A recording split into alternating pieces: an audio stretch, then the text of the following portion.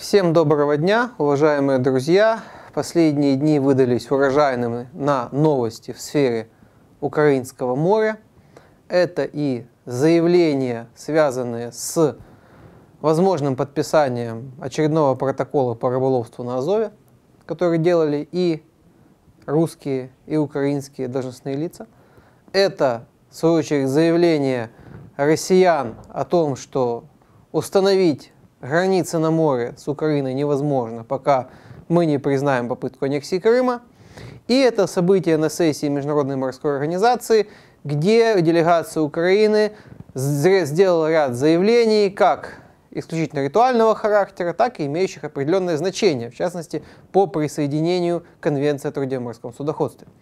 На сегодня, к сожалению, морская политика Украины продолжает быть не сформированной. Э, команда должностных лиц, которая отвечает за это э, в МИДе, э, Мининфраструктуре и Госрыбагентстве, осталась на сегодняшний момент практически та же, как и было год назад и два года назад. Поэтому, естественно, каких-то радикальных ответов на новые вызовы я не жду, а вызовов становится все больше. Разумные люди неоднократно предупреждали, что попытка аннексии Крыма – естественно, не является концом российской агрессии. Им нужно обеспечить как минимум логистическую безопасность полуострова для своих агрессивных нужд. Им нужно добывать газ на отжатом Украине шельфе. Им, естественно, желательно задушить украинское торговое судоходство и рыбальство, для чего Российская Федерация контролирует достаточно значимые районы и Черного, и Азовского морей. На сегодня поскольку воды вокруг Крыма оккупированы, никто не может внятно сказать, где же заканчивается то море, которое Украина может контролировать. Безусловно, это 12 миль от берега, возможно 24 мили от берега, включая прилежащую зону, но что дальше? Есть ли у Украины реальная возможность что-то изменить уже хотя бы на 25 миле от пляжа Одессы? Это вызов, который не решен, на который сегодня не существует ни практического ответа, поскольку всем понятно, что Украина будет контролировать в условиях конфликта с Россией лишь то, что сможет сконтролировать физически, силой оружия, силой вооруженного противостояния с государством-агрессором. Юридически же Россия ничем не связана в своих притязаниях, и если сегодня она заявляет о том, что частично воды вокруг Крыма являются русскими, ни в одном документе границ для себя Россия этих вот не обозначила. Поэтому ее притязания достаточно объемны.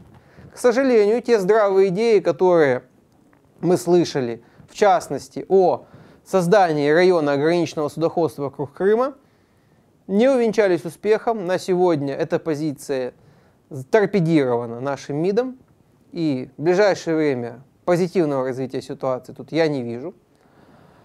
На сегодня мы имеем определенную паузу по всем юридическим процессам, связанных с вопросами торгового судоходства с оккупированными территориями, поскольку вот летом были последние задержания танкера, связанные с крымским судоходством.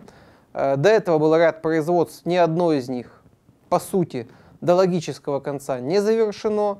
Дела в судах, суд, судно в портах, какого-то внятного органа, который бы за все это вместе отвечал, сегодня не имеем. Ранее большинство этих процессов вела военная прокуратура, сейчас она реформирована. Часть этих процессов вела прокуратура АРК. Сегодня возникает большой вопрос, кто будет новым прокурором АРК, либо прокурор АРК, назначенный на должность заместителя генерального, станет продолжит отвечать за этот вопрос.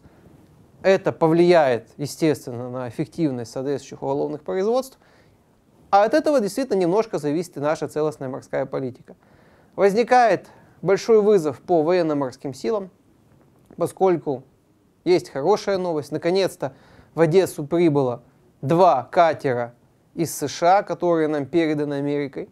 Повторяется ситуация Второй мировой ленд-лиза, когда мы получаем свой флот из-за рубежа, и это очень хорошо, поскольку, как говорят специалисты, те суда, которые строились на киевском заводе, в первую очередь это бронированные катера, они достаточно узки по применяемым задачам, технические их решения не все называют позитивными, Э, поэтому, если думать не только о защите пляжа, а действительно попытаться хоть на 5 минут представить себя морским государством, которое может эффективно защищать свои интересы не только возле мола Мариуполя и где-то в Средиземном море, а может быть даже и в океане, конечно, нужны абсолютно другие суда, естественно, в рамках наших бюджетных потребностей, но вообще способные выходить в открытое море. Это вызов, и то, что сейчас Украина пытается получить хотя бы малую часть флота, подчеркну, этого абсолютно недостаточно, нужно в 10 раз больше от наших партнеров, это на самом деле неплохой симптом.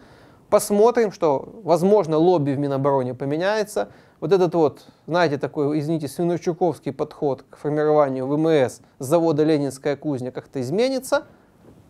Есть у меня вот здесь хоть маленький элемент оптимизма. Где у меня его нет? Это касательно Азовского моря.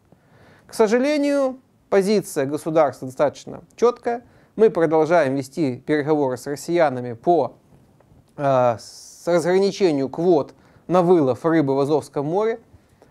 Игнорируется здесь и то, что оккупанты сегодня в Крыму установили незаконную систему рыбохозяйствования и контроля за рыбохозяйствованием, то, что под эгидой оккупантов осуществляется незаконный выход с оккупированной территории, добыча рыбы, игнорируются факты задержания украинских рыбаков, на акваториях во время лова не за браконьерство, а просто за якобы нарушение так называемой госграницы РФ, то есть в угоду своим политическим нуждам государство-агрессор просто делает наших рыбаков разменной монетой, все об этом молчат. Молчат и о более худших вещах. Как известно, в том году протокол не был подписан в силу того, что э, россияне додумались послать в Киев человека, по которому плачет украинская тюрьма, а народные депутаты поставят запрос публично – Потом этот протокол все же был подписан на 19 год, в феврале 2019 года. И самое смешное, что наше госрыбагентство запрещало до подписания протокола подконтрольным субъектам хозяйства не ловить рыбу. А как свидетельствуют сами рыбаки, в это время русские прекрасно ее ловили без всяких протоколов и успешно себя чувствовали. Никто к ним, естественно, никаких претензий не выдвигал. Здесь мы имеем великолепный пример – ну, абсолютно такой колониальной политики России по отношению к нашим посадовцам, которые рады за определенные свои личные, либо своих родственников коммерческие интересы подписать с русскими что угодно. Почему я сказал о родственниках? Недавно всплыл вопиющий э, пример, когда глава ассоциации э, рыбодобывающей промышленности Украины – внезапно оказалась супругой чиновника госрыбагентства, который, в принципе, и отвечает за регулирование этой сферы и участвует в подписании протоколов с россиянами. Тут уже, извините, не нужно разбираться в видах бычка, чтобы понимать, что, извините, в этой сфере, к сожалению, порядка у нас мало. Возможно, новая команда власти, новое Министерство экономики, которым подчинили вопросы рыбы, предпримет здесь какие-то шаги. Но оптимизма у меня нет. Такая же ситуация и в океаническом лове, куда бы можно было бы перенаправить трудовой ресурс азовских рыбаков.